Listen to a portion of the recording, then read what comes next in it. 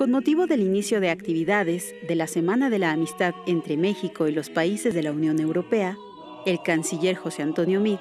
y una comitiva de embajadores, en un recorrido por las galerías del Centro Nacional de las Artes, pudieron apreciar el detalle de las reproducciones digitales